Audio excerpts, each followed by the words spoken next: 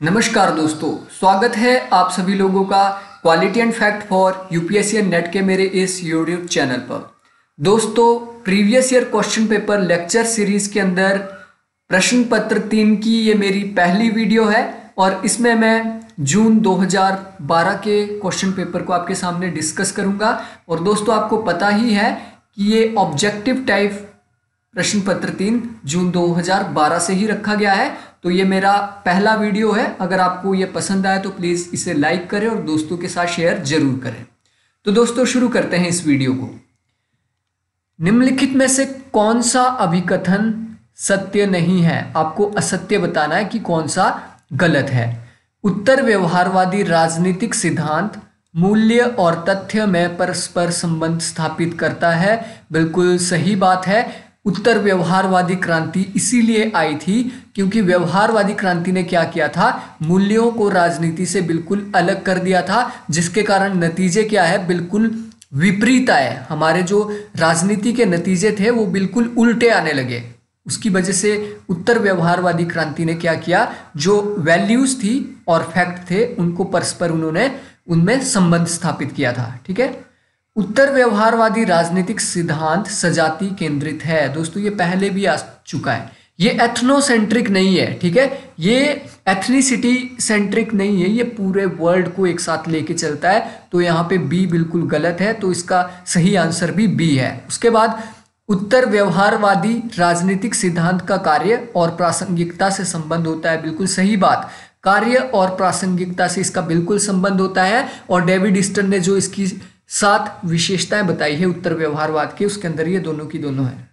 उत्तर व्यवहारवादी राजनीतिक सिद्धांत परिवर्तन, परिवर्तनोमुखी है, ठीक है कि वो परिवर्तन की मांग करता है तो ये भी बिल्कुल सही बात यहाँ पे की गई है। तो बीस का करेक्ट आंसर है। दोस्तों, अगर आपको लगता है कि मुझे एक एक पॉइंट को आपके सामने अच्छे से डिस्कस करना है डिस्क्राइब करना है तो वीडियो को यहीं रोक दो और कमेंट बॉक्स में लिखो। अदरवाइज़ कुछ लोगों को क्या लगता है कि जल्दी से जल्दी आंसर बताए, ताकि टाइम हमारा वेस्ट ना हो। तो मैं नहीं चाहता कि आपका टाइम वेस्ट हो, इसलिए कमेंट में आप बता दें जो भी आपको सही लगता है। ठीक है दोस्तों, आगे बढ़ते हैं। सकारात्मक उदारवाद का निम्नलिखित में से किसमें विश्वास नहीं है? पॉजिटिव लिबरलिज्म की जो धारणा जे इस मिल से शुरू होती है, उसके बाद ग्रीन ने पॉजिटिव लिबरलिज्म के अंदर अपना योगदान दिया है। तो इसमें कल्याणकारी राज्य की बात बिल्कुल पॉजिटिव लिबरलिस्ट का मतलब ही यही है कि ये कल्याणकारी राज्य की बात करते हैं, ये नैनी राज्य की भी बात करते हैं। यहाँ पे ये नैनो राज्य का मतलब छोटा होता है, ना कि नैनी राज्य। नैनी राज्य का मतलब क्या होता है? जो नानी की तरह, बच्चे को पालती है ना, जिसे नानी वैसे ही ये नैनी स्टेट का कॉन्सेप्ट है, लेकिन यहाँ पे छोटे राज्य बिल्कुल गलत दिया है। अगर यहाँ पे नैनो होता तो छोटे राज्य होना था तो सीबीएसई e से भी गलती हो जाती है।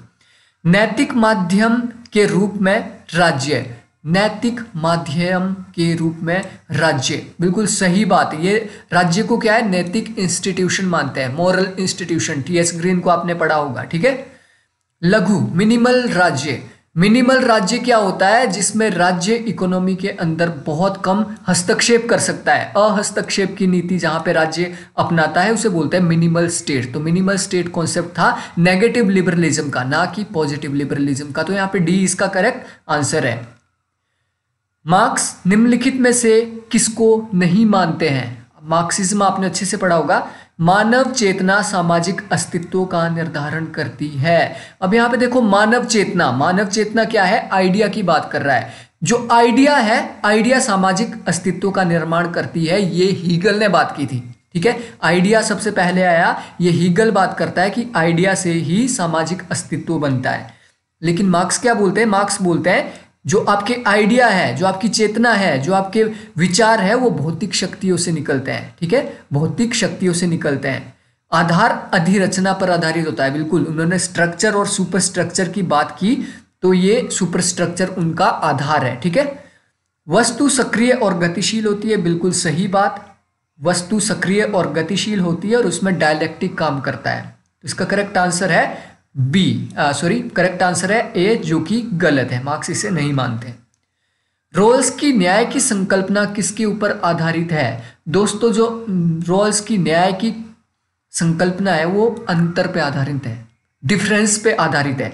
इन्होंने जो बुक लिखी है a justice a theory of justice 1971 में, वो कहाँ से शुरू करते हैं? उनकी पहली ही जो पंक्ति है, उसके अंदर डिफरेंसेस की बात की गई है। आखिर गरीब और अमीर में इतना अंतर क्यों है? आखिर क्यों गरीब गरीब ही रह रहा है और अमीर अमीर ही बनता जा रहा है? उनके बीच जो प्रॉपर्टी का इतना बड़ा गैप है, वो क्यों है? तो इसी अंतर के सिद्धांत को सुलझाने के लिए उन्होंने ये पूरी की पूरी न्याय की संकल्पना दी है जिसके अंदर उन्होंने वितरण का सिद्धांत दिया है समझौता सिद्धांत भी दिया है और संपर्क पद्धति का सिद्धांत भी दिया है लेकिन इनका बेस क्या है? आधार क्या है? आधार है अंतर का सिद्धांत। विचारधारा शब्द का सर्वप्रथम प्रयोग किसने किया? तो ये आ, कब किया गया? ये सत्रह में बर्नार्ड ब्रूच ने किया है। सत्यवीर की कथा जिसका अनुवाद गांधी जी द्वारा गुजराती में किया गया था वो निम्नलिखित में से किसमें थी? दोस्तों, ये जो डायलॉग्स ऑफ़ प्लेटो है ना, वहाँ से लिया था ये महात्मा गांधी ने सत्यवीर की कथा, ठीक है? और इन्होंने गुजराती में इसका अनुवाद किया था। देखते हैं क्वेश्चन नंबर सात। क्वेश्चन नंबर सात। साम्यवाद को एशियाटिक फॉर्म में किसने अनुकूलित किया? एशियाटिक फॉर्म का मतलब है एशिया में किसने लागू किया और एशिया में उसको चेंज भी किया है। एशियाटिक फॉर्म का मतलब ये है, एशिया में लागू किया और उसको थोड़ा बहुत चेंज भी किया। तो ये थे माओ से तुंग आपको पता है, ये चीन के रहने चीन के निवासी थे और चीन के प्रेसिडेंट भी बने हैं। पहले जो साम्यवादी इन्होंने क्रांति वहाँ पे लाई उन्नीस सौ उनचास में, इन्होंने इसको एशियाटिक फॉर्म में कन्वर्ट किया। एशियाटिक फॉर्म क्या है? ये मार्क्सिज्म लेनिनिज्म। मार्क्सिज्म, लेनिनिज्म जो यूरोप में था, उसके अंदर इन्होंने अपनी थ्योरी दी जिसे सैनिक शासन बोला जाता है। इन्होंने क्या बोला कि शक्ति क्या है? बंदूक की गोली से निकलती है। तो इन्होंने क्या है? मार्क्सिज्म और लेनिनिज्म में शक्ति की महत्ता को स्वीकारा और शक्ति को ही इन्होंने सब कुछ माना। उसे बोला जाता है माओइज्म। माओवाद की जो समस्या है ना तो यहीं से उत्पन्न हुई है वो। तो इसका सही आंसर है माओ से तुम। निम्नलिखित में से कौन सा अभिकथन सत्य है वो आपको बताना है। प्लेटो का न्याय, विधिक संकल्पना है, बिल्कुल गलत बात। न्याय की विधिक संकल्पना तो अभी आई है मॉडर्न टाइम में। तो ये तो आपके क्लासिकल थिंकर है तो ये तो बिल्कुल विधिक संकल्पना तो है ही नहीं। न्याय के लिए ग्रीक शब्द डिकाय सून है, बिल्कुल सही बात। न्याय जस्टिस आपका ग्रीक शब्द डिकाय सून से निकला है। उसके बाद यहाँ पे नीचे दिया है प्लेटो के न्याय से तात्पर्य, कथनी और करनी में सत्यता और ईश्वर तथा व्यक्ति का ऋण चुकाना है। ऋण चुकाने की बात किसने की थी प्राचीन काल में? सिफेल्स। सिफेल्स बोलते हैं, ऋण चुकाना ही न्याय है, ठीक है? प्लेटो का न्याय संप्रभु की शक्तियों द्वारा प्रवर्तित और उसके नाम के लिए बनाए गए कानूनों और संस्थानों के अनुरूप बिल्कुल गलत है। तो इसका करेक्ट आंसर सिर्फ़ बी है, ठीक है? डिकाइनुस से निकला है जस्टिस स्टेट ऑफ़ नेचर पर लोक का विचार है पूर्व राजनीतिक। इनका जो स्टेट ऑफ़ नेचर पे विचार है पूर्व राजनीतिक। निम्नलिखित में से कौन सा अभिकथन सत्य है वो आपको बताना है। द प्रिंस में गणतंत्र में राजनीतिक अस्थिरता बनाए रखने के लिए। अब दोस्तों, राजनीतिक अस्थिरता बनाने के लिए कोई लिखता है किताब? बहुत ही इरेशनल सा लग रहा है ना आपको ये तो पहले इतने इरेशनल टाइप के क्वेश्चन आते थे जिसको इजीली सॉल्व कर सकते थे आप। द डिस्कोर्स में जागीरों में राजनीतिक अस्थिरता। देखो यहाँ भी अस्थिरता। अगर यहाँ पे स्थिरता दिया होता तो ये कुछ हद तक हमें सही भी लगता, लेकिन ये बिल्कुल गलत है। द प्रिंस राजाओं की गुणताओं से संबंधित है, बिल्कुल सही बात। द प्रिंस के अंदर मैक्यावली ने प्रिंस में क्या गुण होने चाहिए या राजा में क्या गुण होने चाहिए उसको ये बता रहा है। ठीक ठीक है? और द डिस्कोर्सिस में नागरिकों की मांगों पर अपेक्षाकृत अधिक बल दिया गया तो बिल्कुल सही बात। सी इसका करेक्ट आंसर है। ठीक है? सी इसका करेक्ट आंसर है। क्वेश्चन नंबर ग्यारह। यह किसने कहा कि मानव स्वभाव सामाजिक संबंधों की संविष्टि है? दोस्तों, ये एम एन रॉय ने कहा। एम एन रॉय ने क्या बोला? जो मानव का स्वभाव बनता है ना मानव आ, मानव का स्वभाव कैसा होता है? मानव रूढ़ीवादी बनते हैं मानव आपके क्या बनते हैं? प्रोग्रेसिव बनते हैं मानव डरपोक बनते हैं। कहाँ से बनते हैं? वो सामाजिक संबंधों की वजह से बनते हैं। सामाजिक जो संबंध होते हैं ना उसी से मानव स्वभाव बनता है। फॉर एग्ज़ाम्पल एक बच्चा दलित कास्ट में उसका जन्म हुआ है और एक का मतलब बहुत ही राजपूताना फैमिली में हुआ है तो दोनों के स्वभाव में थोड़ा बहुत अंतर तो होगा ना। जो राजपूत वाला है उसके अंदर क्या घमंड या इस टाइप का मतलब अपने जो आ, उसकी एथनीसिटी है उससे रिलेटिव उससे प्राउड होगा लेकिन जो दलित होगा उसे कभी भी प्राउड नहीं होगा। तो एम एन रो यहाँ पे बिल्कुल सही बात कर रहे हैं। अरविंदो मुख्यतः किसके लिए विख्यात है? दोस्तों इन्होंने लाइफ डिवाइन एक पुस्तक लिखी है जिसके अंदर इन्होंने अच्छे से क्लियर किया है कि हमारी लाइफ क्या है लाइफ कैसी होनी चाहिए लाइफ को अच्छा कैसे बनाया जाए और अभी तक जो साइंस में और स्पिरिचुअलिटी में क्या क्या डेवलपमेंट हुई है, वो सब कुछ इसमें इन्होंने बताया है। क्वेश्चन नंबर तेरह प्लेटो का न्याय सही कार्य करने की प्रवृत्ति का प्रतिपादन करता है। बिल्कुल सही बात। प्लेटो क्या बोलता था? न्याय वही है अपने साथ। अपने साथ न्याय तभी है अगर आप अपने मनपसंद का काम करते हैं। जो कि आपके जो रूह है, उसके साथ मैच कर रहा है, ठीक है? अन्याय झेलने से अच्छा है, अन्याय करना बिल्कुल गलत बात। अन्याय करना तो बिल्कुल ही गलत बात है। तो यहाँ पे बिल्कुल नेगेटिव स्टेटमेंट है मतलब आर यहाँ पे बिल्कुल गलत है। तो इसका करेक्ट आंसर है सी ए सही आर गलत है। क्वेश्चन नंबर चौदह। सूची एक को सूची दो से आपको मिलाना है और इसमें लेखक दिए हैं और उनकी पुस्तकें दी है। बहुत ही जनरल सी पुस्तक है और इसी से इनके आइडियाज़ निकले हैं main main ideas Friedrich Hayek ने बात की है, द रोड टू सर्फडम और इन्होंने क्या बोला है, जो कल्याणकारी राज्य होता है ना, वो दास्ता की ओर ले जाता है ठीक है? ये कैसे ले जाता है? आपने प्लीज़ एक बार इसको गूगल पे सर्च कर लेना, क्योंकि मेरे पास उतना टाइम नहीं है, इसमें बहुत ही अच्छी बात इन्होंने बोली है, ठीक है? इन्होंने क्या बोला है, अगर कैपिटलिज्म के अंदर क्या होता है जो कल्याणकारी राज्य के अंदर होता है, राज्य के पास क्या है, आर्थिक शक्ति भी आ जाती है जहाँ पे राजनीतिक शक्ति और आर्थिक शक्ति दोनों इकट्ठी हो जाएगी ना, वहाँ पे निरंकुशता हो जाएगी। जहाँ पे निरं निरंकुशता हो जाएगी, वहाँ पे दास्ता की ओर। तो आपने एक बार इसको सर्च कर लेना। John Rawls. जॉन रोल्स ने दिया है a theory of justice 1971 Amartya Sen ने दिया है न्याय का विचार 1999 के अंदर। इन्हें नोबेल प्राइज भी मिला है अमर्त्य सेन को। प्लेटो प्लेटो ने लिखी है द रिपब्लिक। और यहाँ देखो कितनी बड़ी मिस्टेक कर सकता है सीबीएसई भी ठीक है? The politics. द पॉलिटिक्स तो प्लेटो ने नहीं लिखी है ये तो एरिस्टोटल ने लिखी है। तो यहाँ पे ये क्या है? आ, इसका तो हमें मिलाना तो पड़ेगा। प्लेटो का द पॉलिटिक्स दिया है क्योंकि मैच तो होगा लेकिन यहाँ पे द रिपब्लिक होती तो बिल्कुल सही होना था लेकिन हम फिर भी मैच कर रहे हैं। तो अब देखिए चौदह का यहाँ पे करेक्ट आंसर बन रहा है। बी चौदह का करेक्ट आंसर इन सब मैच करने के बाद बन रहा है बी यहाँ देखिए डी का एक डी का एक द पॉलिटिक्स ठीक है? क्वेश्चन नंबर पंद्रह. अरस्तु के कार्या, कार्योत्पादन सिद्धांत में निम्नलिखित का सही अनुक्रम क्या है? कार्योत्पादन का संबंध मतलब कार्य कैसे होता है, उत्पादन कैसे होता है, अगर कोई चीज़ हम बना रहे हैं, कोई चीज़ समाज में आ रही तो क्यों आ रही है? किस तरीके से आ रही है, उसका आपने सही क्रम यहाँ पे बताना है।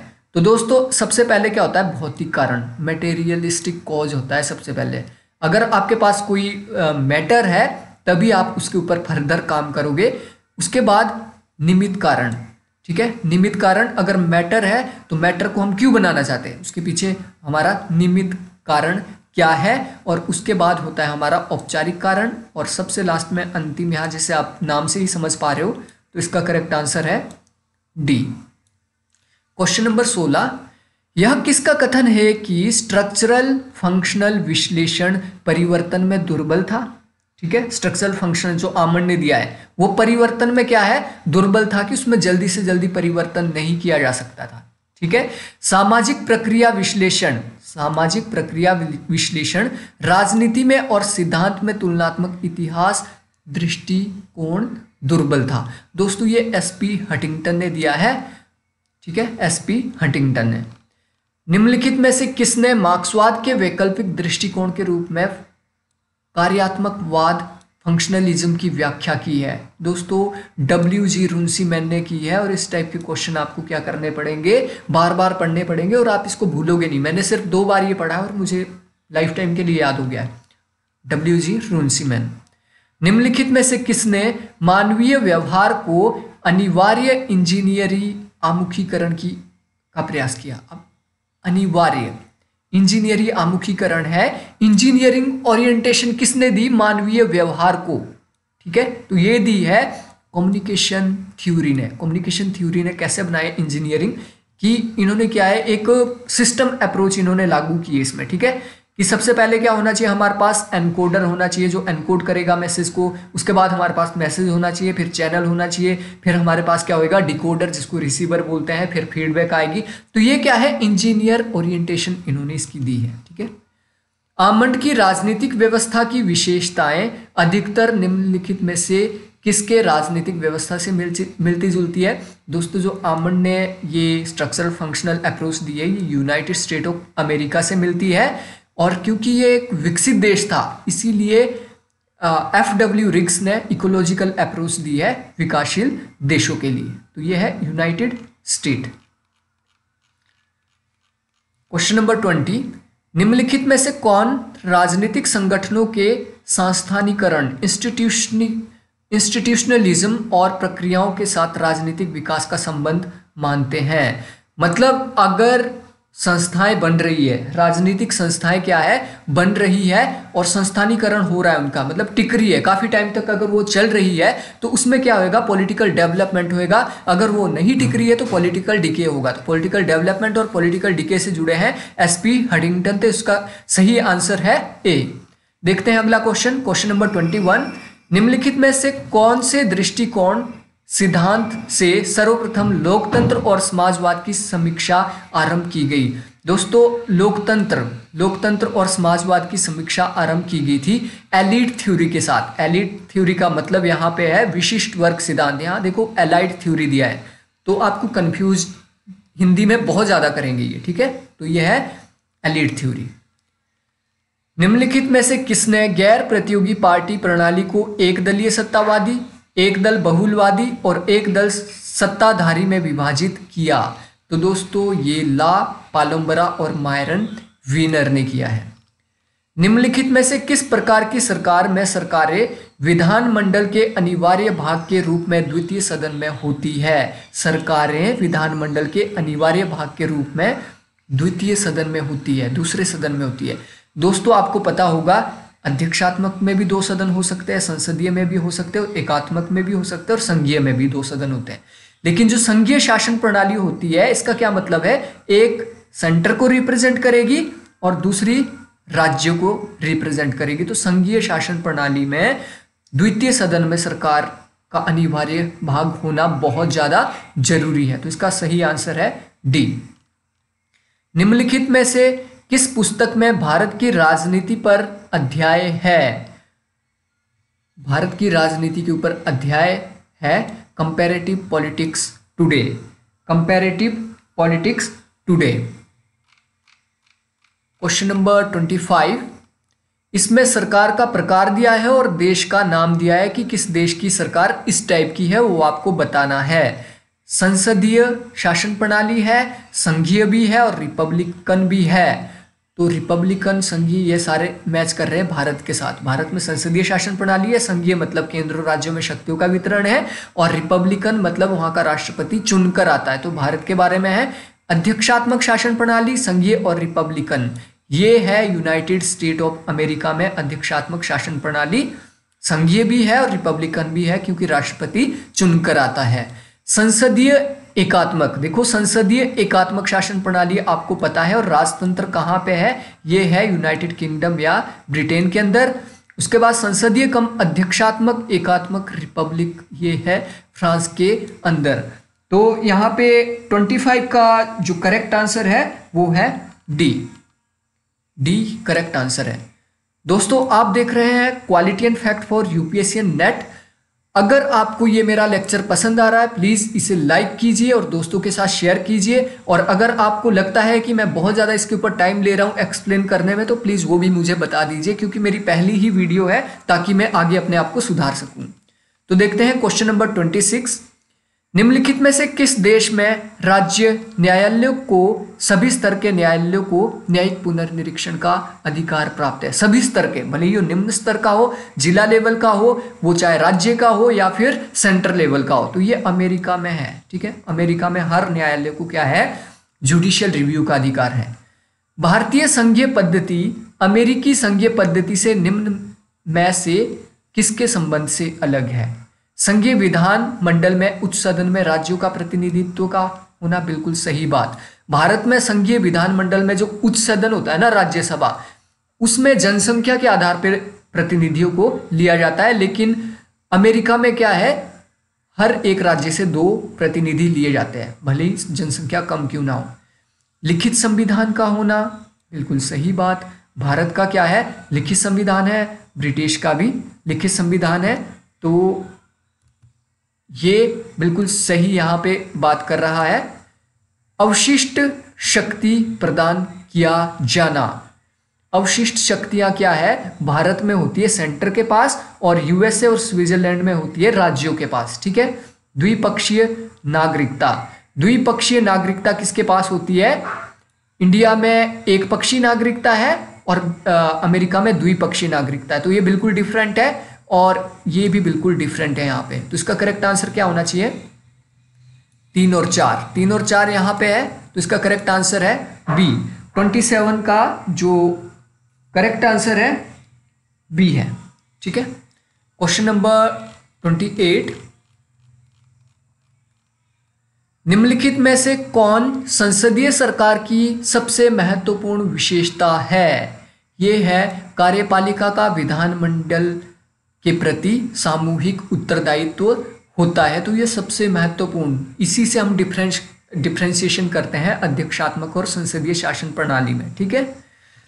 Question number twenty nine KC Wheare द्वारा निम्नलिखित में से कौन सी संघीय पद्धतियों को अन्य संघीय पद्धतियों की जाँच के लिए मॉडल पद्धति माना गया है? केसी वीरे। केसी वीरे ने मॉडल माना था? स्विस संघीय पद्धति को। स्विस संघीय पद्धति उनका मॉडल था और उसी के आधार पर उन्होंने क्या किया? संघीय पद्धति को, दूसरी संघीय पद्धतियों का विश्लेषण किया है। ठीक है? Question number thirty twenty nine oh sorry American संघीय पद्धति। सो सॉरी यहाँ पे थोड़ी कंफ्यूजन होगी थी। ये है अमेरिकन संघीय पद्धति, क्योंकि केसी वीरे क्या है? अमेरिकन एक थिंकर है और इन्होंने सबसे पहले अमेरिका की संघीय पद्धति की आ, का विश्लेषण किया था ठीक है? क्वेश्चन नंबर थर्टी संकट की स्थिति के लिए अध्यक्षात्मक पद्धति उपयुक्त होती है बिल्कुल सही क्योंकि सारी की सारी शक्तियाँ किसके पास होती है? राष्ट्रपति के पास। और जो आपका संसदीय शासन प्रणाली होती है उसमें शक्तियाँ तो भले ही राष्ट्रपति के पास होती है सैनिक शक्तियाँ इमरजेंसी पावर्स लेकिन उसको क्या है? विधानमंडल की अनुमति लेनी पड़ती है, लेकिन अध्यक्षात्मक प्रणाली में नहीं है। इसीलिए ये बिल्कुल सही बात कर रहा है कि संकट की स्थिति में ये बहुत उपयुक्त है। राष्ट्रपति की पदावधि निश्चित होती है। दोस्तों, बिल्कुल सही। अध्यक्षात्मक शासन प्रणाली में राष्ट्रपति की पदावधि निश्चित होती है चार साल। लेकिन क्या यही कारण है कि ये संकट की स्थिति में बिल्कुल सही है, बिल्कुल गलत? संकट की स्थिति में इसलिए ये उपयुक्त है, जो मैं आपको बता चुका हूँ, क्योंकि सारी की सारी शक्तियाँ राष्ट्रपति के पास होती है। तो ए और आर दोनों सही है और आर ए का सही स्पष्टीकरण नहीं है। क्वेश्चन नंबर थर्टी वन संविधान सभा किसके अंतर्गत स्थापित की गई? तो दोस्तों कैबिनेट मिशन प्लान जो कि 1946 में आया था, बहुत ही सिंपल क्वेश्चन है डायरेक्ट क्वेश्चन है। यह किसने कहा कि भारत का संविधान आशा और प्रेरणा की अपेक्षा भय और संतरास में बना? मतलब डर में ये ज़्यादा बनाए ये बात की थी पोल आर ब्रास ने पोल आर ब्रास ने। और ये सारे के सारे क्या है इंडियन कॉन्स्टिट्यूशन के ज्ञाता है तो इनको आपने एक बार पढ़ लेना है। निम्नलिखित में से संविधान का कौन सा अनुच्छेद विधानमंडल को असंवैधानिक और अमान्य घोषित होने से रोकता है? जो आपका विधानमंडल है ना, उसको असंवैधानिक और अमान्य घोषित होने से रोकता है, वो है अनुच्छेद 31 बी, दूसरे देखो दोस्तों, ये समानता का अधिकार से रिलेटेड है और ये कर्तव्यों से, मौलिक कर्तव्य, उनतीस से धार्मिक स्वतंत्रता तो यहाँ पे करेक्ट आंसर है इकतीस बी। संविधान, भारतीय संविधान में निम्नलिखित में से कौन से संशोधन में शिक्षा के अधिकार को मौलिक अधिकार बनाया गया? दोस्तों, बहुत से लोग इसमें कंफ्यूज हो जाते हैं। यहाँ पे भारतीय संविधान में कौन सा संशोधन? ये दोस्तों, संशोधन क्या है? बिल है। संशोधन बिल नाइन्टी थर्ड है और अमेंडमेंट बिल जो ये कानून कब बना था? एटी सिक्स अमेंडमेंट में। लाया तिरानवे गया था और पास एटी सिक्स में हुआ था तो इसका करेक्ट आंसर है C question number thirty five निम्नलिखित में से कौन सा अविकथन सत्य नहीं है? जो असत्य है। आपात स्थिति की सर्वप्रथम उद्घोषणा उन्नीस सौ बासठ में की गई थी। बिल्कुल सही बात, जब चीन ने भारत पे आक्रमण किया था आपात स्थिति की दूसरी उद्घोषणा 1971 में हुई थी। बिल्कुल सही बात, जब भारत पाकिस्तान के बीच युद्ध हुआ था। आपात स्थिति की तृतीय उद्घोषणा 1975 में इंदिरा गांधी ने की थी, जो कि आंतरिक आपातकाल था बिल्कुल सही है। आपात स्थिति की दूसरी और तीसरी उद्घोषणा उन्नीस सौ अठहत्तर में निरस्त की गई थी। बिल्कुल गलत ही उन्नीस या सतर के अंदर, छिहत्तर, सतहत्तर दो में से एक है, आपने देख लेना, लेकिन अठहत्तर बिल्कुल नहीं है तो इसका करेक्ट आंसर है डी और कमेंट में भी प्लीज़ बता दे, ताकि मैं भी क्लियर हो जाऊँ। छिहत्तर है या सतर में? केंद्र और राज्यों के बीच विवाद पर निर्णय के लिए भारत के सर्वोच्च न्यायालय की शक्तियाँ निम्नलिखित में से किसके अंतर्गत आती है? केंद्र और राज्यों के बीच जो विवाद होता है तो मूल क्षेत्राधिकार है सुप्रीम कोर्ट का, ठीक है? Question number thirty seven, Bharat, भारतीय राजनीति को मांगजन्य व्यवस्था और आदेश, आदेशात्मक व्यवस्था के बीच संघर्ष का काल किसने माना? दोस्तों, ये बहुत इंपॉर्टेंट यहाँ पे इनकी कोटेशन है। ये who tried to period Indian politics in term of the tussle between a demand polity and command polity demand polity and command polity बहुत ही इंटरेस्टिंग है। तो ये रजनी कोठारी ने दिया था, ठीक है? ये कॉन्सेप्ट किसने दिया है? रजनी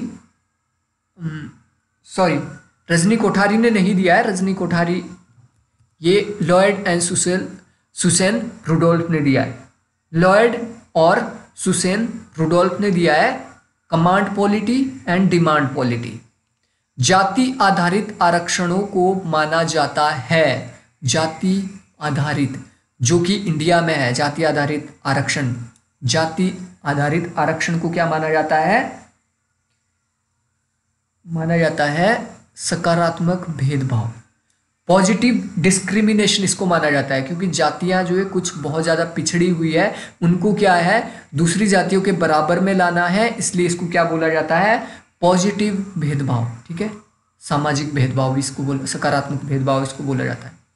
राजा धरे और नाम देव धसल किस दलित आंदोलन से जुड़े हैं। ये जुड़े हैं दलित पैंथर। दलित पैंथर आंदोलन जो कि महाराष्ट्र के अंदर हुआ था, उससे ये जुड़े हैं।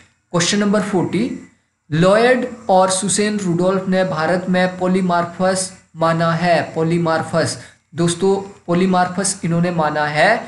विभिन्न रूपों और अभिव्यक्ति अभिविन्यास व्यक्तियों को कि इंडिया में क्या है? विभिन्न रूपों के व्यक्ति है। विभिन्न अभिविन्यास। अभिविन्यास मतलब उनकी ओरिएंटेशन अलग है, उनकी डिमांड अलग है, उनका जो सारा का सारा रहन सहन अलग है, इसी को इन्होंने माना है पोलीमार्फस और पोलीमार्फस टर्म आपने बिल्कुल याद रख लेनी है क्योंकि ये पूछी भी जा सकती है। Political economy of development in India पुस्तक किसने लिखी है? पॉलिटिक इकोनॉमी ऑफ़ डेवलपमेंट लिखी है प्रणव वर्धन ने प्रणव वर्धन ने ये डायरेक्ट रट्टा मारने वाली बातें हैं। स्वतंत्र और निष्पक्ष चुनाव सुनिश्चित करने के लिए और पंचायतों के निर्वाचन का संचालन करने के लिए निम्नलिखित में से किसमें शक्ति निहित की जानी चाहिए? पंचायतों के निर्वाचन आपको पता ही है, इसका संचालन कौन करता है? राज्य निर्वाचन आयोग। भले ही घुमा फिरा के पूछा है, लेकिन बहुत सिंपल है। तो 42 का करेक्ट आंसर है। C question number forty three Bharat के राष्ट्रपति राज्य के संवैधानिक प्रमुख होते हैं, बिल्कुल सही बात, संवैधानिक प्रमुख है इन्हें नाम मात्र मुखिया भी बोला जाता है। प्रधानमंत्री की अध्यक्षता में मंत्री परिषद के पास सभी शक्तियाँ निहित होती है, क्योंकि ये संवैधानिक या नाम मात्र मुखिया है? नाम मात्र मुखिया क्यों है? क्योंकि प्रधानमंत्री की अध्यक्षता वाली मंत्री परिषद के पास सारी शक्तियाँ होती है तो इसका मतलब है ए और आर दोनों सही है और आर ए का सही स्पष्टीकरण है। Question number forty four Muslim League का उद्गम हुआ है 1906 के अंदर। लखनऊ समझौ, समझौता आप लोगों को पता है, जब मुस्लिम लीग और कांग्रेस के अंदर समझौता हुआ था तो ये 1916 में हुआ है। मोतीलाल नेहरू रिपोर्ट 1928 बहुत सिंपल है और मोहम्मद जिन्ना ने क्या द्विराष्ट्रीय सिद्धांत दिया था 1940 के अंदर? तो 44 का यहाँ पे करेक्ट आंसर है। बी दो, तीन, चार, एक। Question number forty five Bharat के निम्नलिखित राष्ट्रपतियों का सही अनुक्रम क्या है? तो यहाँ पे तो बहुत ज़्यादा सिंपल दिए हैं। और इसकी आपने एक मतलब ट्रिक भी बना लेनी है, मैंने भी बनाई है, मैं आपको जल्दी से जल्दी उसको भी बता दूँगा। तो आपको पता है, पहले हमारे राष्ट्रपति थे डॉक्टर राजेंद्र प्रसाद, उसके बाद बने हैं राजेंद्र प्रसाद के बाद बने हैं हमारे डॉक्टर जाकिर हुसैन। जाकिर हुसैन के बाद आर वेंकटरमन और सबसे उन्नीस सौ बानवे के अंदर बने हैं डॉक्टर शंकर दयाल शर्मा। तो 45 का यहाँ पे करेक्ट आंसर है बी। दो, एक, चार, तीन। देखते हैं अगला क्वेश्चन क्वेश्चन नंबर 46 निम्नलिखित कथनों पर ध्यान दीजिए। संगठनात्मक सिद्धांतों के क्षेत्र में, संगठनात्मक जो सिद्धांत है, उसके क्षेत्र में क्या आता है, वो आपने बताना है। संगठनात्मक सिद्धांतों को बताते, बनाते हुए गुलिक फ्योल के चौदह सिद्धांतों से बिल्कुल प्रभावित था। गुलिक चौदह प्रिंसिपल से बिल्कुल प्रभावित था। उर्विक प्रशासन के मंतव्यों से कमेटियों के प्रयोग के संबंध में चेतावनी देता है ये देखना पड़ेगा। गुलिक कार्य विभाजन के आधार को कोई महत्व नहीं देता है। गुलिक क्या है? कार्य विभाजन को कोई महत्व नहीं देता है। हम्म, गुलिक देता है। गुलिक कार्य विभाजन को महत्व देता है ठीक है? उन्होंने अलग से कार्य विभाजन की थ्योरी भी दी है ठीक है? उसके बाद है फ्योल का आदेशों की एकता के सिद्धांत में विश्वास है, बिल्कुल। इन्होंने कमांड की, एकता की बात की है तो यहाँ पे दो भी ठीक है, एक दो और चार ठीक है। एक दो चार तो इसका मतलब है डी यहाँ पे करेक्ट आंसर है। क्वेश्चन नंबर फोर्टी सेवन सूची एक को आपने सूची दो के साथ मिलाना है और ये एडमिनिस्ट्रेटिव थिंकर है, और इसके ऊपर मैं अलग से भी वीडियो बना चुका हूँ, आप लोगों ने आई थिंक देख भी ली होगी। तो इसमें सबसे पहले है फ्रेडरिक हर्जबर्ग हर्जबर्ग ने दी है मोटिवेटर हाइजीन अप्रोच जिसमें एक्स और वाई थ्योरी के हिसाब से इन्होंने बताने की कोशिश किया है। अब्राहम मास्लो ने नीड हायरार्की दी है। The need hierarchy Fred W Riggs इन्होंने दिया है। Concept of sorry the existence of collects और एमपी फॉलेट ने दिया है। Concept of partnership concept of partnership तो 47 का करेक्ट आंसर है। ए ए ठीक है? Question number 48 Chester I Barnard के अनुसार वैध अधिकार का आदेश के बारे में निम्नलिखित में से कौन सा सही नहीं है? ठीक है? जॉन ऑफ़ इंडिफरेंस भी इन्होंने दिया है चेस्टर बर्नार्ड ने। तो देखते हैं इसको। यह संगठन के मंतव्य के अनुकूल होना चाहिए। बिल्कुल सही। वैध अधिकार का आदेश वो होता है मतलब वैध आदेश वो होते हैं जो संगठन के मंतव्य के अनुकूल होते हैं कि जो संगठन में जो नीतियाँ बनाई है, उसके अनुसार होने चाहिए आदेश। यह बुद्धि गम्य होने चाहिए, ये बिल्कुल तर्क संगत भी होने चाहिए। ऐसे नहीं कि इरेशनल तरीके से आप आदेश दे रहे हो, उसको लोग मानने लग जाए। इसे व्यवहारिक होना चाहिए। मतलब इसे व्यवहार्य होना चाहिए। व्यवहार में भी उसे लागू किया जाना चाहिए। फॉर एग्ज़ाम्पल एक मजदूर को बोलने लग जाए, एक मतलब आदेश या आदेश दे रहा है एक सुपरवाइजर कि आप पचास बैग बनाओ। हालाँकि वो व्यवहार में नहीं बना सकता है। व्यवहार में वो दस ही बैग बना सकता है। तो इसका करेक्ट आंसर है सी मौद्रिक दृष्टिकोण से उत्प्रेरक होना चाहिए। ये बात यहाँ पे चेस्टर आई बर्नार्ड ने नहीं की है तो इसका करेक्ट आंसर है सी मुने के अनुसार उच्च अधिकारी द्वारा सुनिश्चित अधिकारों का दिया जाना कहलाता है। मुने के अनुसार उच्च अधिकारी द्वारा सुनिश्चित अधिकारों का दिया जाना कहलाता है। अब मुने आई थिंक आपने पढ़े होंगे, ये एडमिनिस्ट्रेटिव थिंक थिंकर है और इन्होंने अपना अलग से कॉन्सेप्ट दिया है। ठीक है? तो इन्होंने क्या बात की है? प्रत्यायोजन की। प्रत्यायोजन। प्रत्यायोजन को इंग्लिश में बोला जाता है डेलीगेशन जो आप डेलीगेट करते हैं किसी अधिकार को, ठीक है?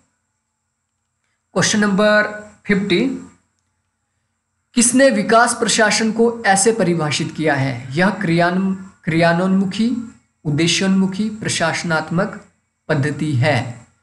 क्रियान, क्रियानोन्मुखी का मतलब यहाँ पे क्या है? जो आपकी वर्क ठीक है? इसको इंग्लिश में देख लेते हैं। हिंदी में बहुत ज़्यादा टफ लग रहा है मुझे भी। हु डिफाइंड डेवलपमेंट यहाँ पे देखो development administrator as action oriented goal oriented administrative system. Action oriented and goal oriented की बात की है, एडवर्ड विडनर ने। दोस्तों 2017 में भी ये क्वेश्चन रिपीट हुआ है और उसमें आया था कि विकास प्रशासन को गोल ओरिएंटेड और चेंज ओरिएंटेड किसने कहा, ठीक है? तो ये एडवर्ड विडनर है। डेविड निकमियास एवं डी एच रोजेन ब्लूम के अनुसार निम्नलिखित में से सहभागी, सहभागिता अधिकार, अधिकारी तंत्र का तत्व नहीं है। दोस्तों, इस टाइप के क्वेश्चन बहुत ज़्यादा कंफ्यूज करने, करते हैं, क्योंकि मैं खुद ये नाम पहली बार देख रहा हूँ तो आप आश्चर्यचकित ज़रूर होंगे, जो अभी आने वाला क्वेश्चन पेपर है, उसमें भी कुछ क्वेश्चन इस टाइप के होंगे। तो इसका करेक्ट करेक्ट आंसर है, उन्हें राजनीतिक स्वेच्छाचारिता से बचाने के लिए सिविल सेवा संघ बनाना। क्वेश्चन नंबर फिफ्टी टू निम्नलिखित में से किसने एक संगठन में जोन ऑफ़ इंडिफरेंस की अवधारणा का प्रतिपादन किया? तो मैं आपको पहले ही बता चुका हूँ यह है Chester I Barnard zone of indifference ठीक है? और ये नियंत्रण के क्षेत्र के अंदर इन्होंने दिया है। Question number fifty three Taylor की मानसिक क्रांति की अवधारणा पक्षधर है। टेलर ने जो मेंटल uh, रेवोल्यूशन की बात की है वो किसके संबंध में की है? तो सहकारिता सामंजस्य एवं सीमित उत्पादन। अब दोस्तों, सीमित उत्पादन की तो एफ़ डब्ल्यू टेलर बात कर ही नहीं रहे थे। वो बोल रहे थे कि ज़्यादा से ज़्यादा उत्पादन हम कैसे करें? सीमित उत्पादन यहाँ भी दिया है तो ये भी बिल्कुल गलत है। सामंजस्य और सहकारिता, ये बिल्कुल सही है। नीचे भी देखो, सीमित उत्पादन की बात की जा रही है। तो इसका करेक्ट आंसर है सी। ये इसका बिल्कुल पक्षधर है, ठीक है? क्वेश्चन नंबर फिफ्टी फोर निम्नलिखित कमेटियों में से किसने पंचायती राज संस्थाओं के लिए द्विस्तरीय प्रणाली की बात की? बहुत बार रिपीट हो चुका है अशोक मेहता कमेटी। इसके बारे में ज़्यादा बात नहीं करूँगा। भारत सरकार द्वारा केंद्रीय चौकसी आयोग, सेंट्रल विजिलेंस, जो कमीशन बना था की स्थापना किस वर्ष की गई? तो ये की गई है उन्नीस के अंदर संथानम कमेटी की रिपोर्ट के बाद। ठीक है? क्वेश्चन नंबर फिफ्टी सिक्स निम्नलिखित समितियों को कालानुक्रम, क्रम में व्यवस्थित करें और नीचे दिए गए कूटों से सही उत्तर आपको चुनना है। ठीक है? तो 56 का करेक्ट आंसर यहाँ पे डी है और आपने इनकी डेट चेक कर लेनी कि कब कब ये कमेटियाँ बनी है। क्वेश्चन नंबर 57 निम्नलिखित कमेटियों में से किस कमेटी ने सिफारिश की थी कि ब्लॉक स्तरीय योजना हो? मतलब ब्लॉक स्तर पे क्या है? ब्लॉक स्तर के ऊपर योजनाएँ बनाई जाए और ब्लॉक को ज़्यादा स्ट्रेंथन किया जाए। तो ये बात की थी दंतवाला कमेटी ने। दंतवाला कमेटी ने। ये चारों की चारों पंचायती राज से जुड़ी हुई है और इसके ऊपर अलग से भी मैंने एक वीडियो बनाई है कि इन्हें कैसे याद करना है। निम्नलिखित में से कौन सा उदारीकरण का तत्व नहीं है? उदारीकरण का मतलब क्या है यहाँ पे? लिबरलिज्म का तत्व क्या है? ठीक है? लिबरलिज्म का तत्व नहीं है, वो आपको बताना है। नी विनियमन, बिल्कुल सही बात। वी नौकरशाहीकरण भी है, अपनियोजन स्टेटिसेशन। स्टेटिसेशन का क्या मतलब है कि स्टेट ज़्यादा से ज़्यादा पावरफुल होगा और स्टेट क्या करेगा? कंट्रोल करेगा इकोनॉमी। तो ये उदारीकरण बिल्कुल इसके ऑपोजिट काम करता है। स्टेटिसेशन इसका मतलब उदारीकरण का ये भाग नहीं है। ऑम्बुड्समैन संस्था सर्वप्रथम कहाँ उत्पन्न हुई? ऑम्बुड्समैन को भारत में बोला जाता है लोकायुक्त लोकायुक्त, ठीक है? तो ये स्वीडन से शुरू हुई थी 1809 में। उसके बाद ये डेनमार्क में आई, फिर स्विट्जरलैंड, फिर यूके में आई, ठीक है? Question number sixty. अधोलिखित दो कथनों को आपने असर्शन रीजन के क्वेश्चन है। उत्तरदायित्व की चर्चा करते हुए फोलेट कहते हैं कि प्रबंध करने वालों और जिनका प्रबंध किया जाता है के बीच अंतर लुप्त हो रहा है। तो ये इनका बिल्कुल यहाँ पे सही इनकी ये कोटेशन है। इन्होंने बिल्कुल ये कहा है अपनी बुक में क्रिएटिव एक्सपीरियंस के अंदर। संगठन में प्रत्येक व्यक्ति कार्य को अन्य कार्यों के अंतर आश्रित जानकर देखा जाए। ये दोनों स्टेटमेंट बिल्कुल अलग तरीके से जा रही है, लेकिन दोनों की दोनों सही है तो इसका करेक्ट आंसर है। ए और आर दोनों सही है और आर ए का सही स्पष्टीकरण नहीं है। क्वेश्चन नंबर सिक्सटी वन अंतर्राष्ट्रीय राजनीति में उदारवादी परिप्रेक्ष्य के विकास में निम्नलिखित में से कौन से महत्वपूर्ण व्यक्ति थे? उदार उदारवादी व्यक्ति इसमें से कौन थे वो आपको बताने हैं। थॉमस हॉब्ज थॉमस हॉब्ज भी आ, आ, उदारवादी सॉरी थॉमस हॉब्ज कौन थे? ये थे रियलिस्ट। थॉमस हॉब्स रियलिस्ट थे हैंस मोर्गेंथू भी और हेनरी किसिंजर भी। यहाँ पे कौन थे उदारवादी? Woodrow Wilson. Question number sixty two सूची एक को सूची दो से मिलाना है और ये इनकी कुछ थ्योरी और इनकी बुक है। सबसे पहले यहाँ पे देखो जोसेफ नाई ने दी है soft power soft power S P Huntington ने क्लैश ऑफ़ सिविलाइजेशन 1996 के अंदर लिखी है। इमैनुअल वॉलरस्टीन आपको पता है वर्ल्ड सिस्टम की इन्होंने बात की और सुसन स्ट्रेन ने रिट्रीट ऑफ़ द स्टेट तो यहाँ पे 62 का करेक्ट आंसर है एक, तीन, चार, एक, दो। क्वेश्चन नंबर 63 ब्रिटेन वुड्स समझौते के द्वारा ब्रिटेन वुड्स समझौते के द्वारा क्या किया गया था, वो आपको यहाँ पे बताना है और आप सभी लोगों को पता है 1945 के अंदर इससे क्या हुआ था। अंतरराष्ट्रीय मुद्रा कोष और वर्ल्ड बैंक की स्थापना हुई थी ब्रिटेन वुड्स समझौते के द्वारा।